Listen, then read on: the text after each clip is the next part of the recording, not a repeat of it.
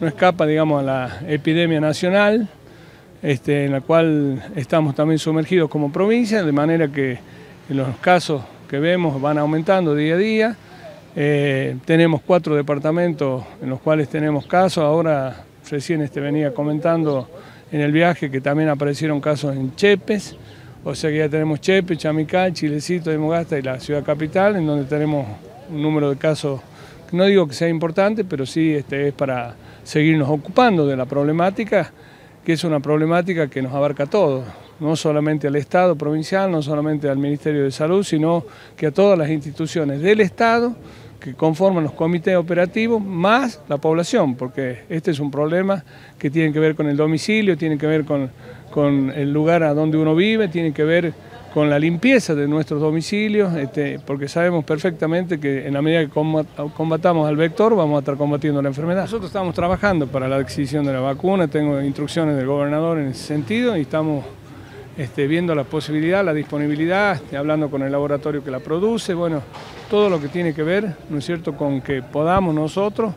en el corto plazo este, poder este, adquirir la vacuna. Tenemos la problemática del dengue, ¿no? En, Chilecito se está trabajando en forma conjunta con el hospital y la zona sanitaria. Eh, cuando se detecta un positivo, nos marcan a nosotros el domicilio, porque, eh, te explico por qué, nos marcan el domicilio y nosotros vamos a fumigar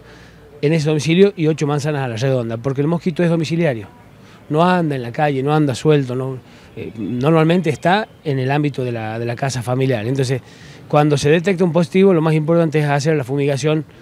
ahí, con la termoniebla, que es un veneno que es de volteo, que no tiene poder residual, o sea, mata todo lo que está volando en ese momento y no queda un poder residual, o sea, no, no, no es riesgoso para la salud ni de los animales ni de la gente. Eh, entonces, es importante que podamos seguir trabajando de esta manera para contenerlo. Ayer escuchaba unos especialistas y dicen que dos o tres semanas más, teniendo en cuenta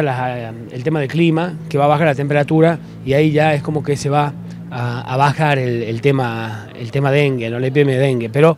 bueno, hay que pasar estas dos o tres semanas y que tengamos buenos resultados en Chilecito. Se va a articular la información, se va a articular el trabajo en conjunto porque eh, casualmente Hoy la problemática del dengue eh, nos, eh, eh, nos está golpeando, pero hay que trabajar, hay que... hoy el gobernador hizo un anuncio de su análisis de compra de la vacuna, es una buena noticia, pero seguramente esa vacuna va a ser con la gente de, planificación de, inmunología, el caso del doctor Eduardo Bassano, de la doctora Silvia Donati de la provincia, bajarán los lineamientos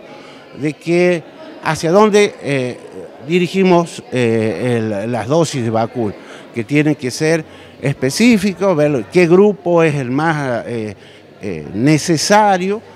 Y bueno, y ya que estoy con su medio acá, aprovechar para decirle a la gente que las medidas de mm, de prevención, por favor, si cada uno en su domicilio, colaborando con si tiene un reservorio y ve que tiene agua estancada, que lo, que lo tire, que, bueno, que use, trate de usar, bueno, sé que es difícil ahora, hay una escasez, pero el repelente, eh, algún, algún eh, producto para tratar de mitigar esta, esta situación.